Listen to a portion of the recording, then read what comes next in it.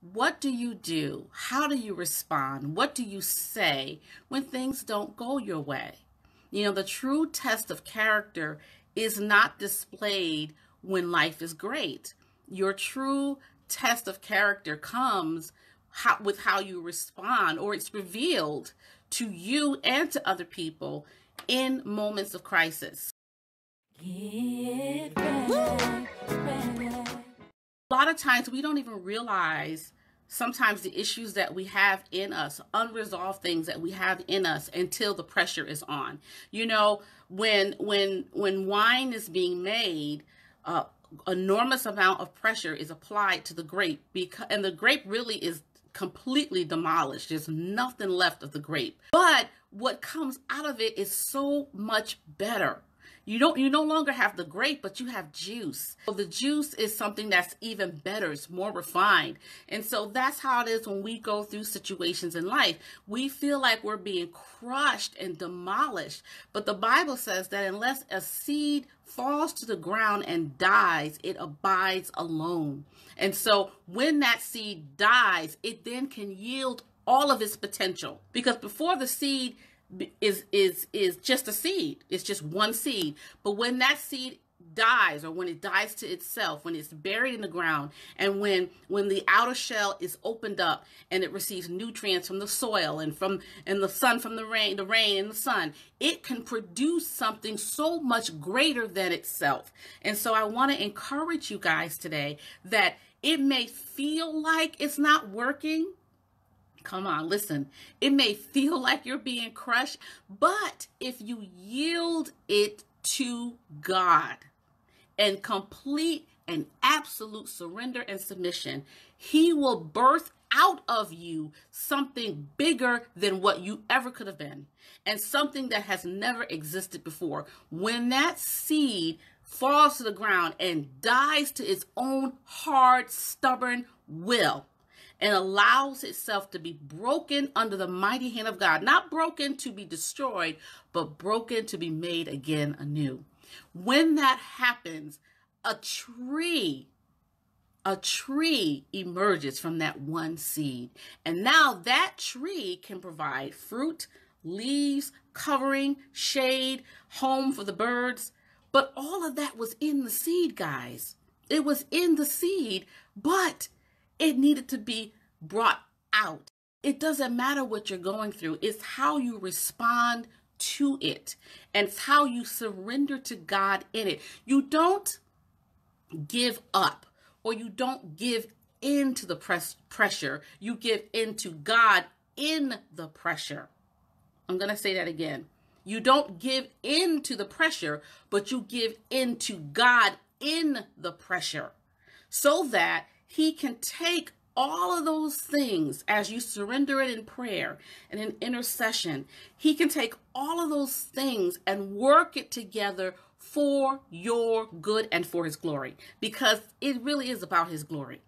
It really is for his glory. And anything that's for his glory is going to be for our good. It's not what happens, it's how we respond to the situation. Again, that and that's what God is looking at. That's what he's looking at. He's saying, okay, how are they reacting? And he already knows. Listen, God already knows what's going on in here. We sometimes don't know because the Bible says the heart can be very deceitful. And so sometimes things have to happen to flush stuff out. The purifying process with gold, you know, the heat is turned up. And so all the impurities then rise to the top and then they get skimmed away so that what's left is pure and worthy to be used. We want to be vessels that are fit for the master's use. So we have to stay on the potter's wheel. And so when there's a crack, sometimes we don't even know there's a crack. Sometimes we have a blind spot.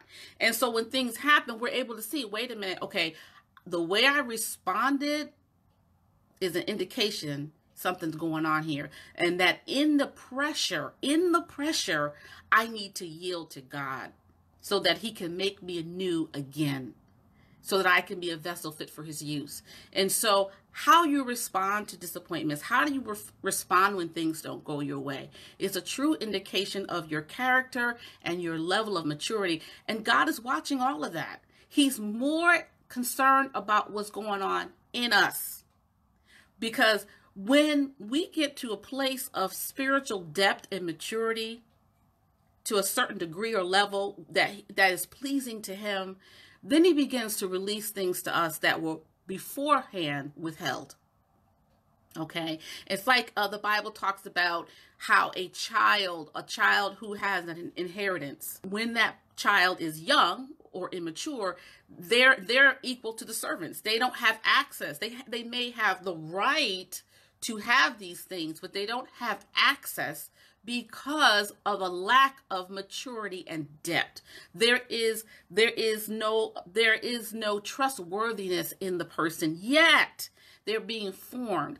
Once the father can see and is convinced that the child is trustworthy and credible and responsible and mature and will take what the father has worked to create and maintain it, sustain it, grow it, and expand it, then it's released. So a lot of times we God is looking at how we're going to respond to situations so that he can judge what we're capable of receiving next. And only he knows. He is the righteous judge. Only he knows.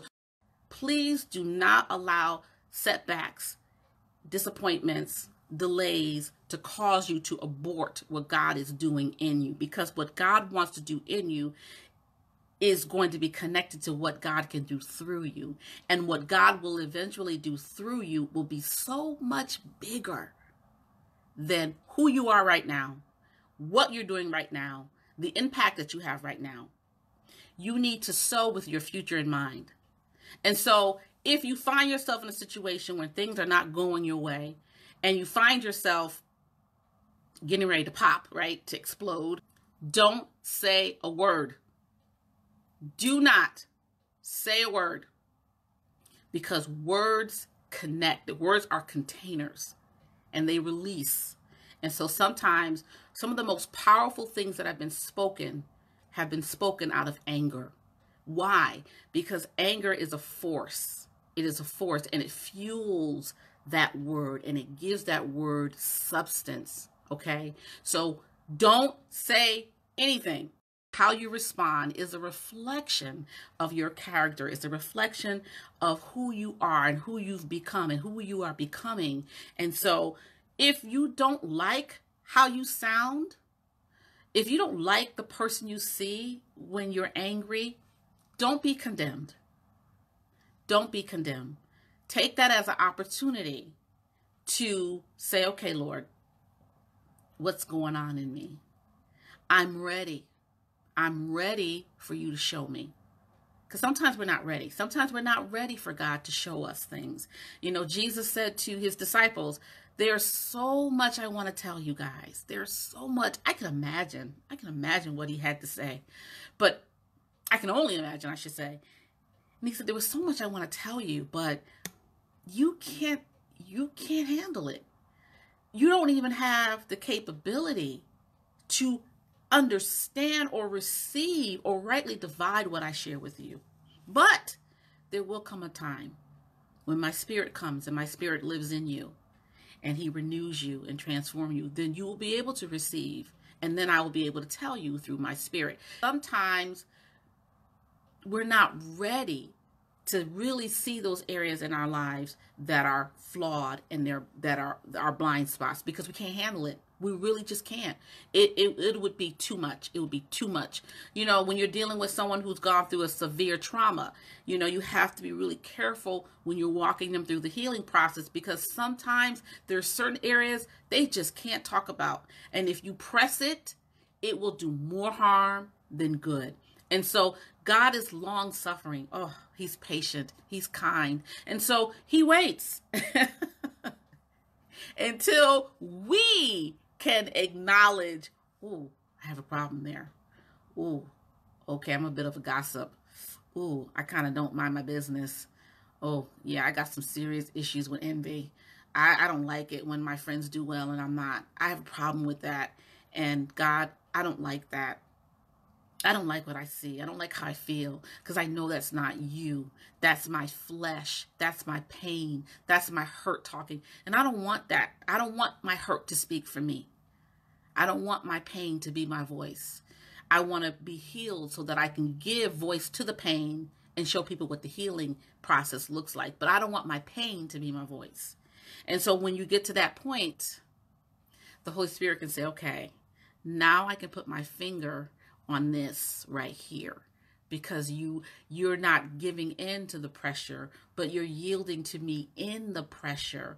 And so now I can peel back the layers and I can show you what's really going on. And I can help you get to the root of it. And I can speak healing to you. And I can bring you to a place where you will not even smell like smoke. I will bring you to a place where every time you think about that event or that experience, the sting of it will be gone completely and it will just be a memory that you can pull from to minister comfort and hope and healing to someone else. So, guys, that's all I wanted to share. Be encouraged, be blessed, and know that you plan your way, but your steps are ordered by God. And be okay with things not going your way as long as you submit the God who is in control of your life so that he can give you the wherewithal, the wisdom, the strength, and the courage to move in a different path so that eventually you will see the realization of those plans in your life and they'll be for your good and be for His glory. So until next time, have a good one.